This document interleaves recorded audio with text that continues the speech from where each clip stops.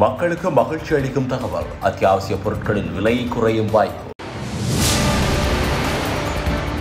மீண்டும் ஆரம்பிக்கப்படும் பாடசாலைகள் ஜனாதிபதி பிறப்பித்துள்ள உத்தரவு.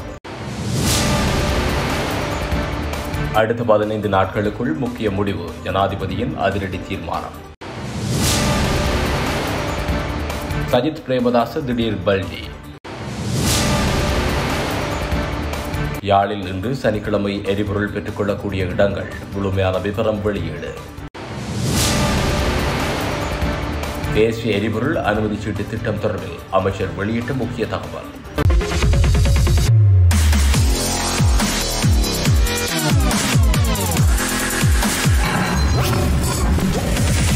எதிர்காலத்தில் சில அத்தியாவசிய பொருட்களின் விலைகள் குறைக்கப்படும் என எதிர்பார்க்கப்படுவதாக வர்த்தக மற்றும் உணவு பாதுகாப்பு அமைச்சு தெரிவித்துள்ளது.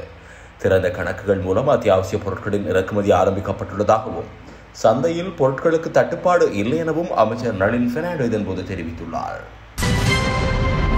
அரசு மற்றும் அரச அங்கீகாரம் பெற்ற தனியார் பாடசாலைகள் எதிர்வரும் திங்கட்கிழமை முதல் மீள ஆரம்பிக்கப்படும் என கல்வி அமைச்சர் தெரிவித்துள்ளது. இதன்படி மறு அறிவித்தல் வரை திங்கள் செவ்வாய் மற்றும் வியாழன் ஆகிய நாட்களில் பாடசாலைகளை நடத்தவும் புதன் மற்றும் வெள்ளிக்கிழமைகளில் மாணவர்கள் வீட்டிலிருந்தே கற்றல் நடவடிக்கைகளில் ஈடுபடவும் கல்வி அமைச்சு தீர்மானித்துள்ளது.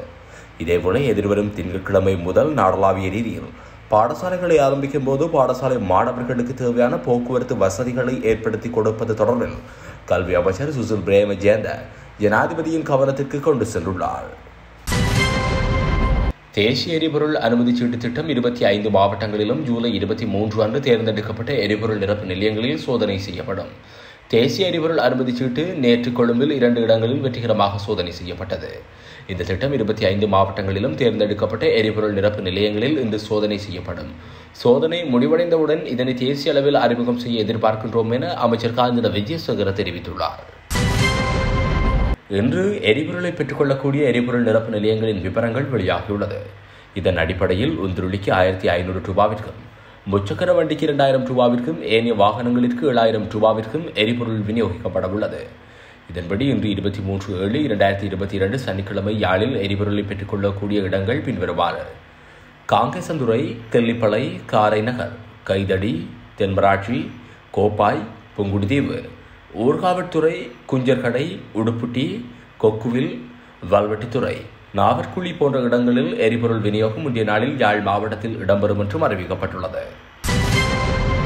அடுத்த பதினைந்து நாட்களுக்குள் சர்வகட்சி அரசாங்கத்தை அமைக்க ஜனாதிபதி ரணில் விக்ரமசிங்கே தீர்மானித்துள்ளதாக தெரிவிக்கப்படுகிறது. அதன்படி முப்பது அமைச்சரவை அமைச்சர்களையும் முப்பது ராஜாங்க அமைச்சர்களையும் நியமிக்க திட்டமிடப்பட்டுள்ளது. இதற்காக அனைத்து கட்சி ஆட்சியை உருவாக்குவது தொடர்பாக அரசியல் கட்சிகள் மற்றும் போராட்டக்காரர்களுடன் பேச்சுவார்த்தை நடத்த ஏற்பாடுகள் நடந்து வருகின்றன.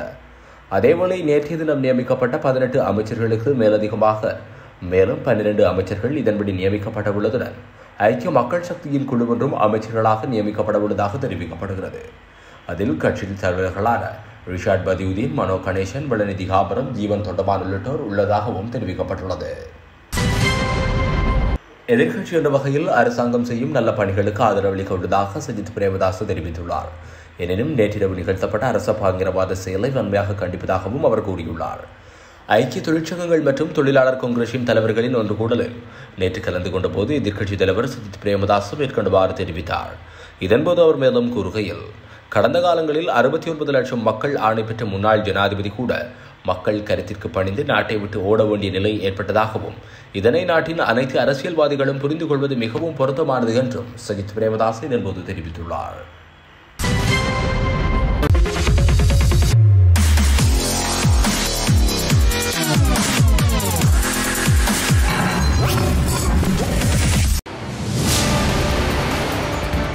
அடுத்த பதினைந்து நாட்களுக்குள் முக்கிய முடிவு. ஜனாதிபதியின் அதிரடி தீர்மானம். சஜித் பிரேமதாச திடீர் பல்டி. யாழில் இன்று சனிக்கிழமை எரிபொருள் பெற்றுக்கொள்ளக்கூடிய இடங்கள். முழுமையான விவரம் வெளியீடு. தேசிய எரிபொருள் அனுமதி சீட்டு திட்டம் தொடர்பில் அமைச்சர் வெளியிட்ட முக்கிய தகவல்.